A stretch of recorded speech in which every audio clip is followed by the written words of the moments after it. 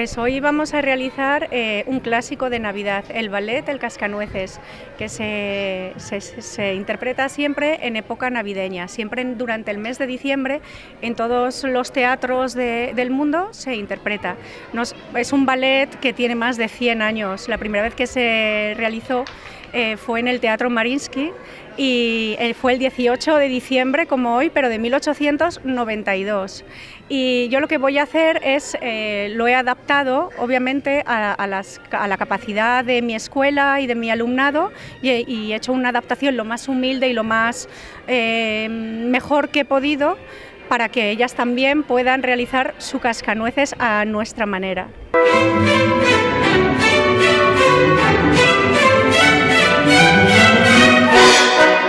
Tenemos el 100% del aforo con distancia, entonces eh, he hecho dos espectáculos, uno por la mañana a las 12 de la mañana y otro que va a ser ahora a las 8 de la tarde, pues para que todas las personas que quieran venir, bueno, todos los familiares que quieran venir, puedan. Al hacer, si hubiese hecho solo un espectáculo, pues no podría entrar eh, mucha, gente. Entonces, de esta forma, pues todos tienen la opción de poder entrar y ver a sus niñas.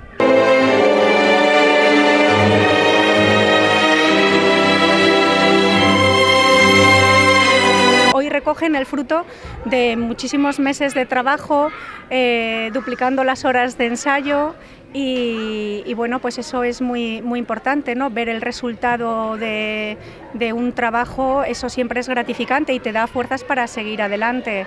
Yo en un principio eh, pensé, hace tres meses la situación no era tan difícil y tan dura como lo está siendo ahora, porque tengo alumnas que iban a bailar y que han trabajado igual de duro que todas las que están detrás del escenario y están confinadas y por desgracia hoy no pueden estar, a las que esta mañana les hemos dedicado el cascanueces. Thank you.